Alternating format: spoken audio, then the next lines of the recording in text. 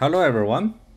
In this video, we're going to use XGBoost model to predict the type of the flowers and uh, the dataset we're going to use Iris. Uh, let's load the libraries first and uh, load the data. We can also check the data as we can see here uh, the last column species, that's the type of the flowers. We have the length and the width. There are one, two, three, four, four columns based on the dimensions. You're going to predict what species or type of the flowers it belongs to. So uh, we check the levels, and it has the three levels as we expected. And um, the species, we can separate the the data, the these four dimensions uh, from the uh, species, the last column.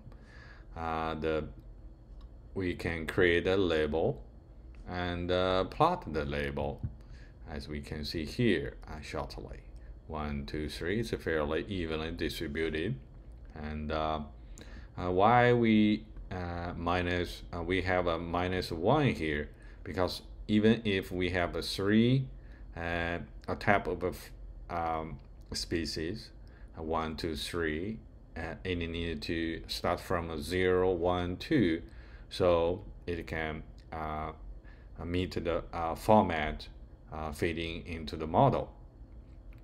We can almost uh, like uh, delete the last column, column, forgive me, and then we check it again. We have the data and uh, the label is separated from the the data. The data actually the data frame it's like a matrix. It, it requires somehow you transform your data into a format very similar to a matrix.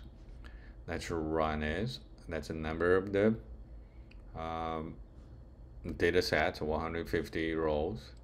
We created a training index and we were we're going to uh, separate the uh, training uh, from the uh, rest of the uh, data set uh, so can, we can have the training and the test data set. we're going to do a little bit of more additional transformation before we can feed the data into the um, XGBoost uh, model. As we can see here, there are a function transform into a matrix here. The label and then the data, they are separately. So uh, let's run these two lines. And here we're going to define the model parameters here. We have uh, three classes as we can, as we already knew here.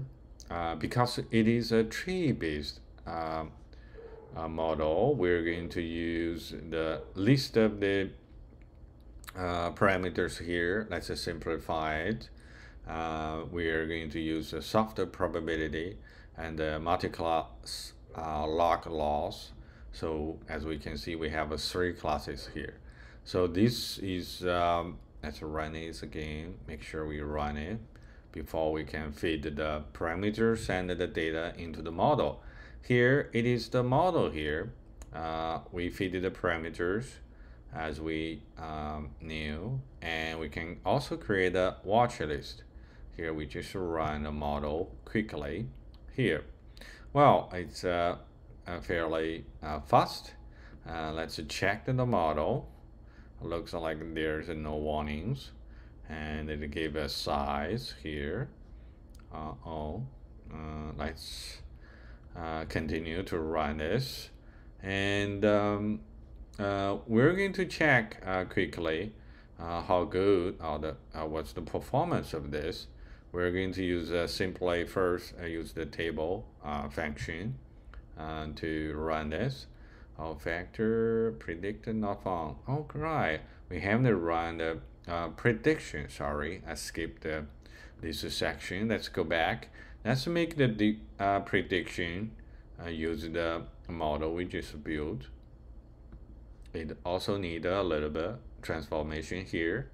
Uh, we are going to transform it into a data frame and we can also and and transform back the species back to the uh, predictions uh, right now it's like a 0 1 2 here uh, we're going to um, choose uh, the maximum probability from uh, these three classes.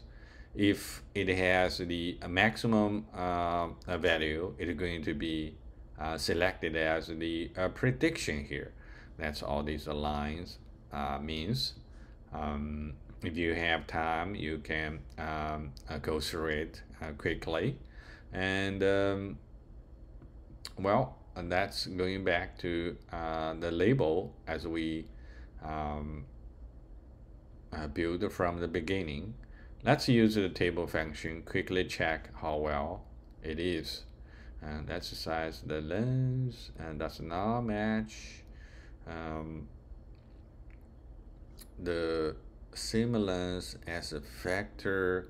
So we're running into some problems uh, not 100% sure what it is, uh, but let's just say it's a training species. Um, we have this. We can run this separately just to make sure we have the uh, correct uh, syntax. Oh, that's the problem. Syntax. All right. Okay. Uh, well, I guess we have to run this, load the uh, Iris uh, dataset again. Remember, uh, we uh, from the beginning we have this uh, step.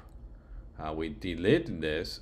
So if we want to reuse it again, uh, it does not. And right now the Iris data, it does not have this column anymore. So be careful. Let's reload the dataset again and run this quickly.